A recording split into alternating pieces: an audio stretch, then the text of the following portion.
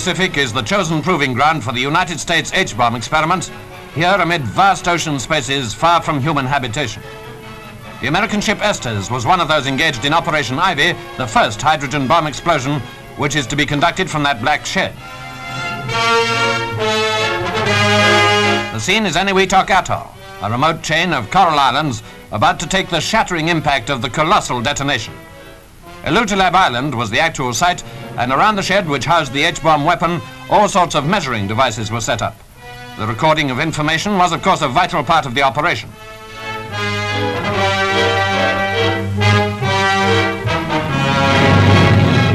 In a few minutes now, the reaction to what was at the time the greatest man-made explosion ever set off would be computed by the instruments.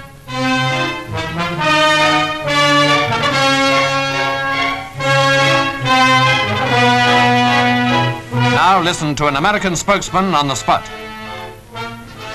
In less than a minute, you will see the most powerful explosion ever witnessed by human eyes. The blast will come out of the horizon just about there. And this is the significance of the moment. This is the first full-scale test of a hydrogen device. If the reaction goes, we're in the thermonuclear era.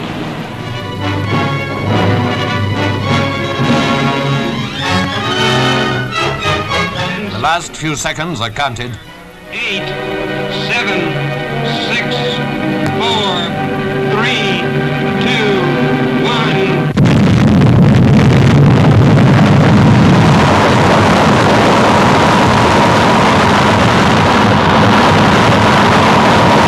The shock waves of the world's first H-bomb rushed towards the onlookers, and spellbound they watched something never seen before.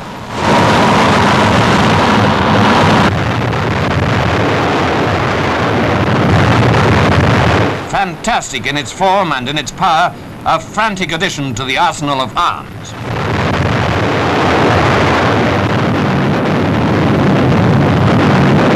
The violence of the bomb is comparable with the energy released by the sun itself.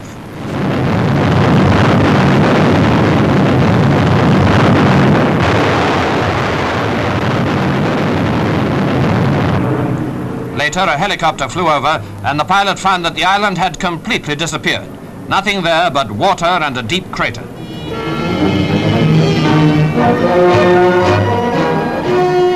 The former island is outlined in this diagram. The crater, which it had now become, could contain, says St. Paul's Cathedral, a score of times. Other islands of the atoll were stripped and scorched, everything on them withered or melted by the blast.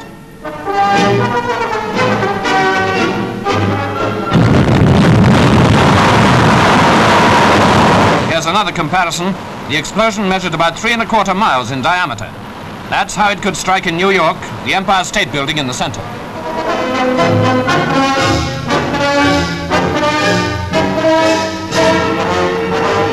Any capital city could have its center devastated.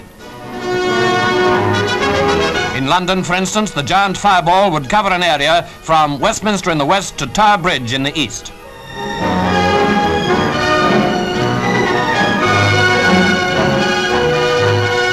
Here's the cloud at its maximum 10 minutes after the explosion. Annihilation was reckoned to be complete within a radius of three miles. Up to seven miles, damage was very severe. Beyond that, somewhat lighter. And H-bombs that followed have been terrifyingly greater in fact and in significance.